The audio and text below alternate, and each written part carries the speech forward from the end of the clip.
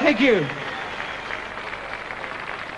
One of my artists which I'm producing is Leslie McKeown, and he was a singer from Bay, City Rollers before.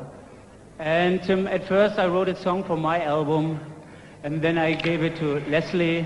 And Мой, моего продюсера зовут Лесли, Лесли Макью. И когда я выпускал свою первую долгоиграющую пластинку, эта песня была создана вместе с ним. Песня называется «Она настоящая женщина».